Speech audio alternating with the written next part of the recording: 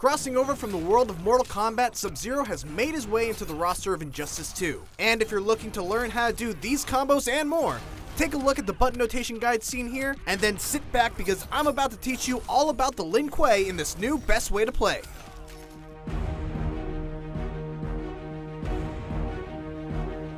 I have engaged in mortal combat. As always, let's start off with Sub-Zero's special moves. Sub-Zero's iconic Ice Ball behaves a little bit differently in Injustice 2, namely in the fact that it doesn't freeze the opponent unless you enhance it with a bar of meter. One very important thing to know about it is that the enhanced version can go through other projectiles, which makes it valuable when trading against other slow projectiles because even if you get hit, they'll be frozen in place and ready for a combo. Of course, Sub-Zero also has his Slide, which is a low-hitting attack that sends the opponent flying over Sub-Zero in the opposite direction, which makes it very useful in combination with his character trait. But more on that later. The enhanced version does extra damage and puts the opponent a full screen away. It's also a great wake-up option as it's invincible on startup. His Ice Burst is a solid maneuver that can end combos and blast an enemy away. And when enhanced, it gives Sub-Zero a great dashing attack that is plus on block, which means you can continue with the pressure. Polar Puncture is a command grab that serves several purposes. First and foremost, it's a true command grab, which means that it cannot be blocked, and also it can't be comboed into on a standing opponent. However, it can be enhanced to freeze the opponent to start a combo, or it can be used to catch opponents in a juggle for a big damage combo ender. Finally, Sub-Zero can use his Air Frost Hammer to kill his forward jump momentum and come crashing down to the ground. This is a great way to throw off opponents looking to anti-air predictable jump-ins. It's got a surprising amount of range and can be enhanced for more damage and knockback. What really makes Sub-Zero super dangerous is his trait, Ice Clone. Pressing the trait button leaves a clone that will freeze any enemy that touches it. There's a bunch of things to know about Ice Clones. First, it will block a single incoming projectile, which makes it a great way to protect yourself when trying to use Sub-Zero's slow ice ball from a long distance. Second, you can throw ice clones by walking up to them and pressing the trait button again. Third, you can blow up the ice clone with Ice Burst to increase the range of the explosion. Fourth, enhancing the trait will create an additional ice clone that can also be thrown. Fifth, you can place an ice clone and then slide into an opponent to cause them to go flying right into it. Sixth, you can't create an ice clone when the opponent is close enough to be frozen by it immediately. And finally, it's just a real, real good way to put pressure on a cornered opponent. Learn to love the ice clone and you'll make your opponents learn to absolutely loathe it.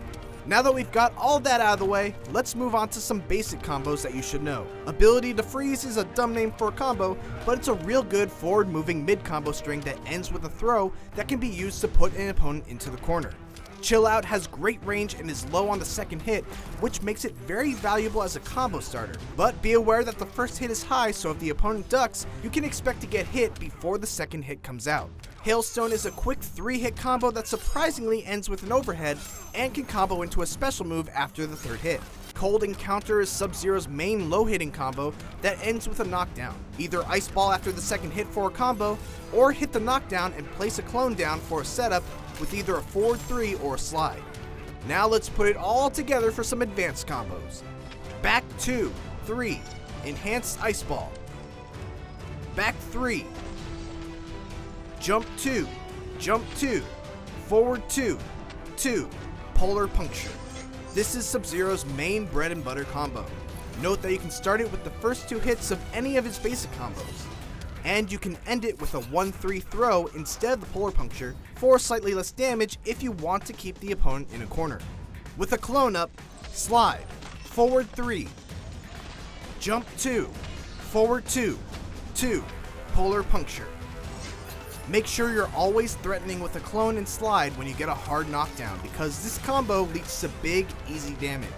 If they start blocking low on wake up, you can threaten them with this next combo. Forward 3, jump 2, forward 2, 2, polar puncture, enhance, back 1, 1, down 3, you can end this combo with something like a back 2-3 slide, but I personally like ending it this way because you can continue pressuring with the clone.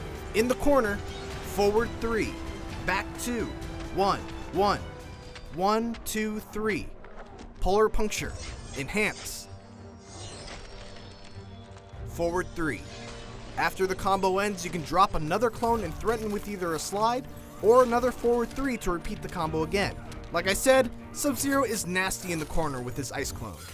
Sub-Zero is a dangerous character to fight against with his tricky clone setups, fast-hitting low slide that can now lead to big damage if combined with his clone, and his amazing forward 3 overhead that can punish people who are too wary of his slide.